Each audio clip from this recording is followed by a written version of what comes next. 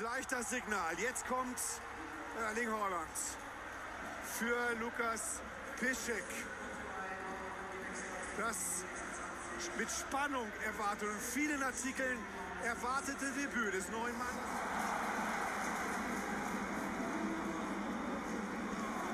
Sancho Holland. Holland! Tor! Eine unglaubliche Geschichte! Der ist ein paar Sekunden auf dem Feld, weil man einen braucht, der Tore schießt. Dann kriegt er den Ball in den 16er und macht ihn rein. Verrückt! Von Witzel mit der Hacke. Und da weiß ich nicht so genau. Erstmal Stefano und Hazard ist da. Holland neben ihm. Hazard vorbei am Torwart. Hazard und Holland. Tor abseits. Das gibt's nicht. Das ist das vierte Mal jetzt.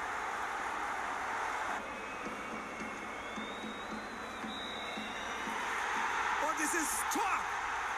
Der Treffer zählt. Erling Haaland macht seinen zweiten. Sie haben ihn geholt, um Tore zu schießen. Er kommt und schießt Tore. 4, 3. Er hat die gelbe Karte gesehen, nicht Brand, aber der passt, da ist Holland. In der Mitte kommt Reus mit, in der Mitte kommt Reiner mit. Holland, Holland, Holland!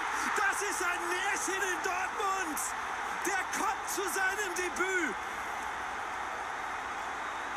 Ist 20 Minuten auf dem Feld und schießt drei Tore. Bisher. Unglaublich. 5-3 Dortmund.